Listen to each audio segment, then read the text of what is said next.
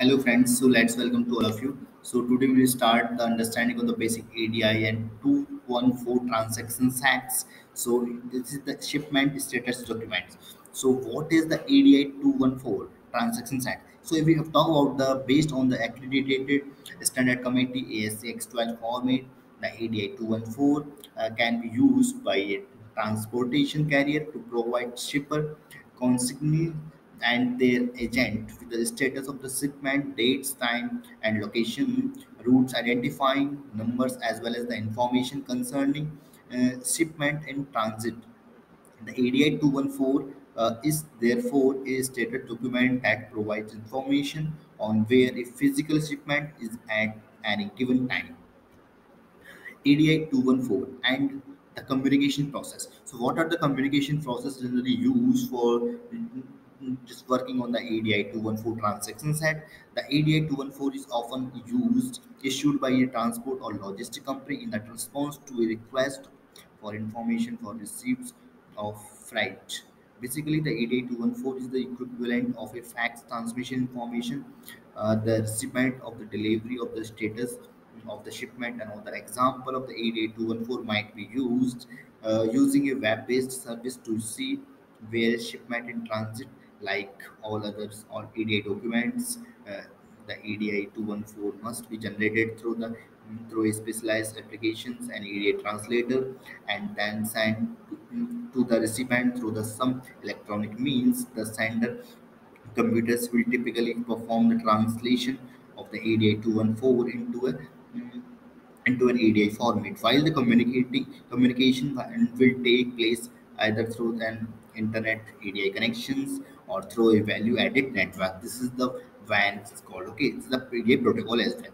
Transmitting of the EDI 214 files. Once the EDI file is ready to send to be sent to, to the recipient, one of one of two methods are going to be generally used. The first and still most popular method is the use of the VAN. The VAN acts as an intermediary intermediary between the two parties, facilitating facilitating the communication of the EDI 214. Uh, in this manner, VAN value-added network is very uh, similar in scope of to the USPS. Beyond simply delivery through the VAN is also responsible for ensuring that the transmission is secure throughout the entire process.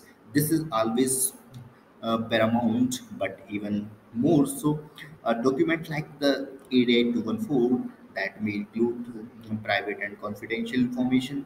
Another popular option is the use of a direct connection through the internet of, to exchange the EDI 214 between two parties or between two trading partners as well.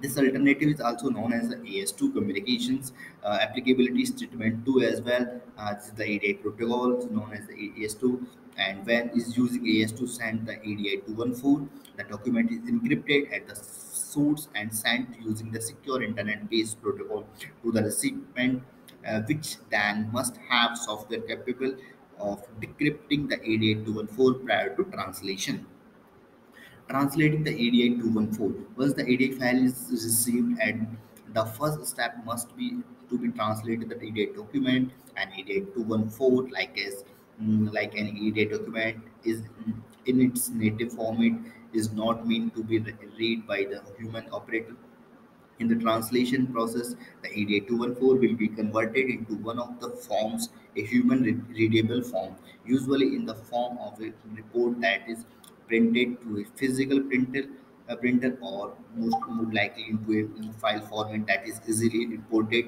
into an accounting or ERP system. The translation of the EDI 214 uh, into this, this more easily integrated uh, format is the first key of step in the receipt of the EDI 214 before it can be used by the intended recipient. Inter- interview questions there might be some interview questions that can be asked in the interview if you're giving your interview in the EDI you want to know something about the questions what might be the questions can be uh, generated and what is the question uh, will be so we will show you here the EDI transportation carrier shipment status message. It's called the 214. What is an EDI 214 transportation carrier shipment status message? An EDI 214 transaction is a transportation carrier shipment status message that is um, used by transportation carriers like trucking uh, companies to provide shippers and it comes coincides with a status update on their shipments. This status can be delineated through the purchase order information, date of shipment, time, proof of delivery, expected delivery shipment, organizations, name and addresses, shipment location, shipment status details, description of the shipment, routes, and identifying numbers. These are the information can be included. And next question, how is an EDI 214 trans- transportation carrier shipment status message used? How we can use this? A shipper typically required uh, EDI 214 status message based on the various events, including the carrier arrivals and departures from pickup locations. The purpose of this trans- uh, transaction type is to allow a transaction carrier the ability to provide shipper and consign- consignees uh, with the status of a given shipment. As with just above about every EDI transaction, the shipper that receives an EDI 214 may choose to send an EDI 997, which is called the functional acknowledgement in a response. Uh, but this is often sub- superfluous. Some trading partner may require an extra step.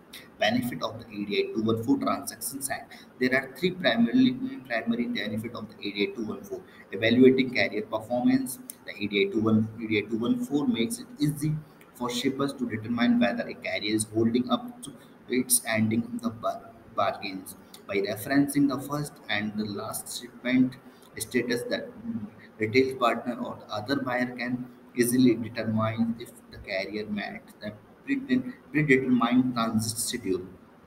Uh, management of the reception facility facilities because of the EDI 214 give advantage advanced warning of the location and of a shipment and the move until arrival.